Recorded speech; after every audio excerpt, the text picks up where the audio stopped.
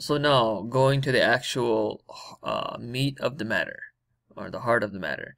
Um, we are going to describe the method of analyzing a, a, typical method of analyzing a piezoelectric resonator of the K31, K33, and KP modes. the first step is to measure the geometry.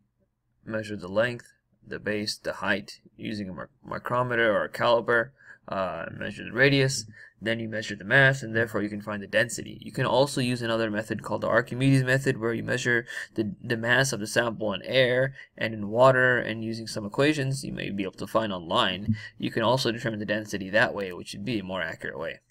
But nonetheless, you need to measure the major dimension of vibration.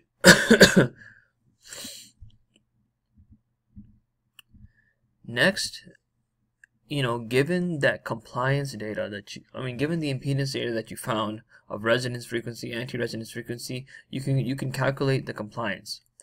So the compliance uh, is uh, the resonance frequency or the frequency you use to determine the compliance. I mentioned for the K33 resonator and the K31 resonator are different. So for the K31 resonator, let me just write this out. K31, use the resonance frequency according to the lowest impedance. And this will then give you the compliance under constant electric field using this equation here.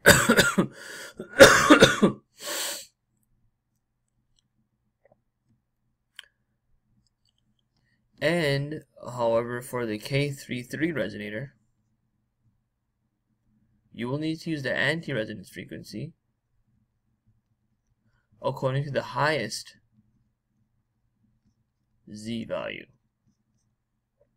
And that will give you the compliance under constant electric displacement. So in order to find actually the uh, uh, compliance of constant electric displacement for the K33 resonator, you'll need to find the K squared value as seen in this equation here. So S33 E equals SD uh, divided by 1 minus the K, the coupling factor, of this material. And I'll describe how to calculate the coupling factor uh, in the coming slides. But for the KP sample, uh, because its uh, resonance frequency includes both results for the uh, S11 under constant and, and it also includes effects from the Poisson's ratio, which we're going to call this because this is the planar Poisson's ratio versus the Poisson's ratio, which are which would occur between the one and three direction. Because that's how the D31 mechanism works. You you pull in this direction and you may get charge in, in the other direction. So this is a little different. This is a planar. Uh, this is not 3 1. This is like uh, 1 and 1 2, which we call. Uh, but anyways, this is a planar Poisson's ratio, not a thickness length Poisson's ratio. So you need to use, by measuring the second resonance frequency, which will be prob probably for your sample be the second largest, the next uh, resonance frequency, which is approximately three times greater than your original uh, resonance frequency. So the second resonance frequency is approximately three times greater than F resonance number three.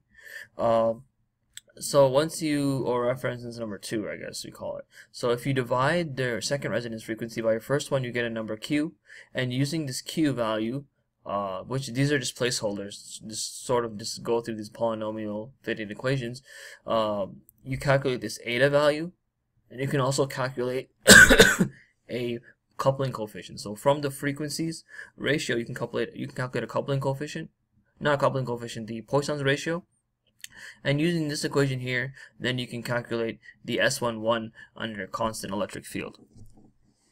But effectively, you can't analyze the compliance directly from only uh, the resonance frequency, uh, uh, the first resonance frequency. and these relationships are regressions from the table on the IEEE standard. There's a part in the IEEE standard which describes how to calculate uh, different values. It's sort of near the end and it has actually a table and I just basically fitted a polynomial fit in Excel of, this table. So it turns out pretty good. Uh, all right. Next step, we want to determine the coupling coefficient, K. And you can remember the general form of K uh, was D, whatever for whatever value, could be D31, D33, uh, divided by um, the square root of the compliance, uh, not necessarily 1, 1, but it has to be under constant electric field, uh, multiplied by the permittivity under constant stress, which means you're not constraining it at all. So for the K31 resonator, uh, following this equation, you can find K31 squared. Uh, and following this equation, you can find K33. Uh, so you'll notice that K31 is a little more complicated than K33. Uh, and you'll notice also that the resonance frequency, whenever, whenever referring to resonance frequency in these equations, I mean the lowest impedance. And I remember whenever I'm referring to anti-resonance, I mean the highest impedance.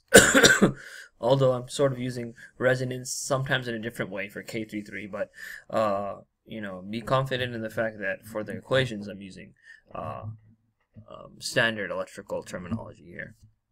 So uh, you'll notice that the resonance frequency is on the bottom, and you'll notice for the K33 resonator uh, that the anti-resonance frequency is often on the denominator. Uh, so for the KP mode, because it's a little more complicated, it doesn't follow a sinusoidal distribution, vibration distribution. Actually, it goes according to the Bessel function. Fortunately for us, Bessel function is very easily modeled in Excel. There's a function called Bessel J. Basically, if you if you type in this exact function here, Bessel J, parenthesis, whatever you found for zeta, comma 0, divided by Bessel J, z, whatever you found for zeta, comma 1, uh, this, this will give you this J star value. From this J star value, you can calculate um, the KP mode like that a simpler way that people use to calculate the KP mode, and it doesn't give so much um, inaccuracy. However, uh, you ought not to use it because it's because it will reduce your material properties, and you want to pro provide the highest k squared possible. Because usually that's you, I think in most cases that's that's always a good thing. Have a higher k squared value. I think, uh, but you could provide a kp squared effective, and the way to do that would be the resonance anti-resonance frequency squared minus the resonance frequency divided by the resonance frequency squared. So this is a sh little shortcut to get you that value if you're lazy. But please don't be lazy and please use the equations.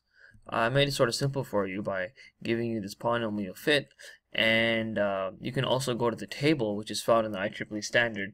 I think some other papers probably reprinted as well but the IEEE standard on piezoelectricity is a, is a good good place to look at that table and make your own fit if you don't believe me.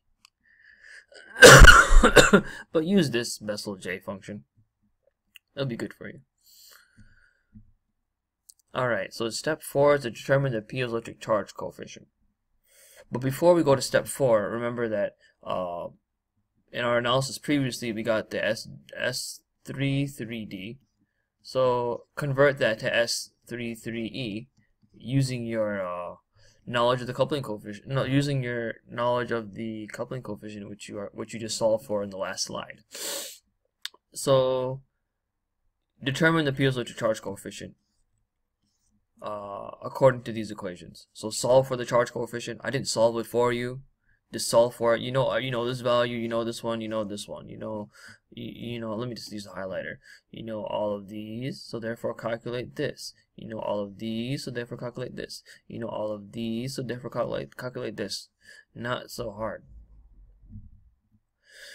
So, step five is determine the losses in resonance and anti-resonance. and I will save this discussion for the next part.